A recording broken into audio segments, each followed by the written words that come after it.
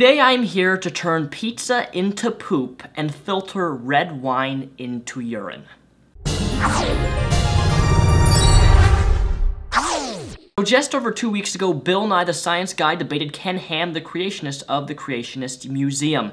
That being said, after the debate was done, some creationists thought they would ask 22 questions that were supposedly going to stump people who believe in evolution like me and you. And today, I'm going to be answering those 22 questions. Bill Nye, are you influencing the minds of children in a positive way? Now, of course, I'm not Bill Nye, and I don't have a stylish bow tie. I actually prefer ties. But I would answer yes to that question. I do believe that Bill Nye the Science Guy is influencing the minds of children in a positive way. Can you show otherwise? Bill Nye the Science Guy is showing children how science works. Are you scared of a divine creator? No, not at all. I'm more scared of a Japanese giant hornet that is the size of my thumb, actually bigger than the size of my thumb, can fly a total of 25 miles per hour, and actually exists. Uh, is it completely illogical that the Earth was created mature, i.e. trees created with rings, Adam created as an adult. Yes, it is completely illogical, and since when have we ever observed or seen any sort of data or any sort of thing that can prove that a man can be formed as an adult from the dust of the ground as the Bible portrays, and have a woman formed from a rib? Does not the second law of thermodynamics disprove evolution? See, just by asking this question, this is one of the reasons why I won't dedicate my time to ever actually debating a creationist is because you think that the Earth is this completely closed system. Energy cannot escape or enter the universe. Do you creationists know that the sun is the main source of energy to the Earth? But the answer is no. The second law of thermodynamics does not disprove evolution, and it has no one has ever been able to show that it disproves evolution, and it doesn't even correlate to the theory of evolution. Living things in our universe is not in a closed system. It seems to me by this question that you're using one thing you don't understand to explain another. How do you explain a sunset if there is no God? If the Big Bang Theory is true and taught as science along with evolution, why do the laws of thermodynamics debunk said theories? They don't. Plain and simple. What about noetics? What about noetics? I honestly don't understand, and I don't really understand what you mean by asking this question. What about fucking cheese? I love cheese, by the way. What about pottery? What about all... I don't see how noetics has anything to do with the existence of God. There is, however, a noetics field within the area of the New Age movement, um, and I'm not really familiar with that, but I think it goes something along the lines of your mind can have an effect on matter, but in all honesty, I really don't see how that has any relation to the existence of a God or a divine creator. Where do you derive objective meaning in life? I believe when anybody asks me the question, what is the meaning of life, I really want to just say, it's what you make of it, and that's different for every single person in the world. Um, how do we define life? Um, what is meaningful to life, to us? And I look around us and I see beauty, I see nature, I see the nature, nurture, I see philosophy, science, art, paintings, music. But again, it varies from person to person on what is the meaning of life, what is your objective meaning to life. If God did not create everything, how did the first single-cell organism originate by chance? Finally, an intelligent, good question. I don't know. However, although I don't have a specific answer to that question, I would recommend looking up Miller-Urey, I think I'm saying that right, I don't know, the Miller-Urey experiment. This experiment proved that amino acids formed in early Earth conditions. So essentially what we have is we have amino acids equals protein, proteins equals living cells, if that makes sense. I, I, have a link to the actual, the experiment link down below the Wikipedia page. It goes in a lot more in-depth of the actual, the Miller-Urey, Urey, I hope I'm saying that right, Ure, Miller-Urey experiment. Why do evolutionists, secular humanists, non-God believing people reject the idea of being a creator god but embrace the concept of intelligent design from aliens or extraterrestrial sources? We don't, or I should say, they don't. Any decent evolutionary bio biologist supports neither intelligent design or the concept of panspermia.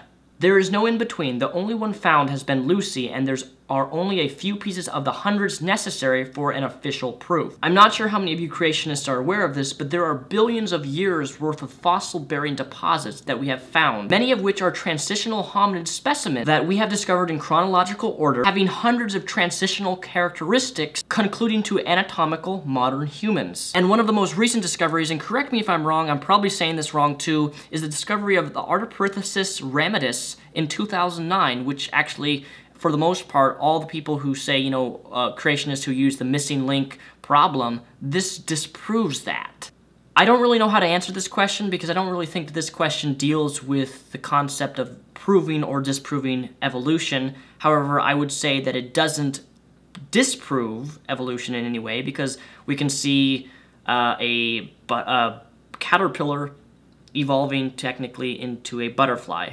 Um, again, I'm not super knowledgeable on the area of metamorphosis, but I don't I don't see how this question is relevant to the is evolution true or false debate. If evolution is a theory like creationism or the Bible, why then is evolution taught as fact? Because evolution is a fact. Evolution simply means change over time. Even the stupid motherfucker known as Ken Ham acknowledges this. So many stupid creationists and Christians seem to think that evolution is a concept that, that describes the origin of the universe, when in reality that's not the idea or that's not even what evolution means. Because science by definition is a theory not testable, observable, or nor repeatable, why do you object to creationism or intelligent design being taught in school? Uh, are you stupid? Science is not, I stress not, a theory. Science is verifiable, is testable, is observable. Science is about knowing stuff. I believe in the separation of church and state, and if you allow creationism to be brought into public schools, you will actually be teaching them religion based upon the Bible, because creationism entails the belief in a God that specifically had created the world in six literal days, and that, my fellow reptiles, is a violation of the First Amendment, the separation of church and state. I will defend that till the day I die. What mechanism has science discovered that evidences an increase of genetic information seen in any genetic mutation or evolutionary process? Any mutation that increases genome size, like duplication or polyploids. What purpose do you think that we're here for if you don't believe in salvation? Yes, because obviously, because I don't believe in God, because I don't believe in salvation, I do not have any meaning or have any purpose in my life, or any value, right? Right. That's what you mean by that question. However, I believe that you and me create our own purpose, our own meaning for what we want and what we look for in life. And I have personally made my purpose here on my YouTube channel and in my life is to be able to help people and inspire people and encourage people to get through their hard times of their life, the struggles that they're going through, and give them encouragement. I like helping people, and right now, that's my purpose. Why have we only found one Lucy when we have found more than one of everything else? We have found and discovered hundreds of bones from thousands of different individuals. I'll mention another one, the Australopithecus afarensis. I think I said that right. Yay for pronunciation. Can you believe in the Big Bang without faith? Yes, of course we can. That is if you decide if instead to rely on evidence. How can you not look at the world and not believe someone created slash thought of it? It's amazing. I do agree that the world is fascinating, incredible, and amazing. There are so much things to learn about in our life, so much more knowledge to find and stick into our brains and learn as we grow up and get older.